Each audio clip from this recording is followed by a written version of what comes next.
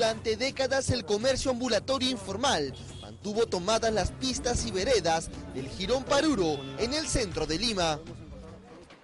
Cruce del Girón Leticia y Paruro. Sobre esta vereda, una gran cantidad de partes de televisores, refrigeradoras, computadoras y artículos electrónicos utilizados por los ambulantes informales son retirados de la vía pública por agentes de fiscalización. Acá tenemos artículos de televisores, de televisores de pantalla plana, televisores, impresoras, más al fondo también inclusive artículos de lavadoras, de artefactos, de repuestos de artefactos de segunda que sirven para arreglar esto y estas personas desarrollan esta actividad en la vía pública. Del mismo modo, las veredas y pistas fueron barridas y baldeadas por agentes de limpieza. Los vecinos cansados de la informalidad también se unieron en la campaña de control y limpieza.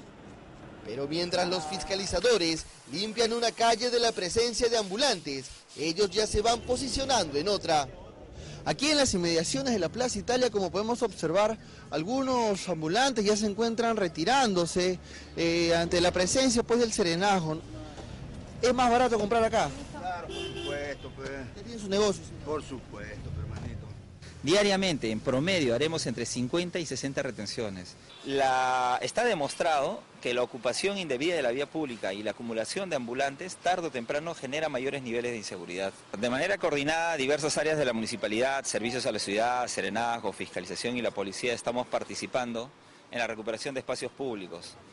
Veredas completamente abarrotadas de mercadería, triciclos con comida que ocupan parte de la pista. Nadie dice nada. Las autoridades aseguran que los operativos serán constantes e invocaron a los ambulantes a regularizar su situación a fin de que puedan trabajar sin inconvenientes.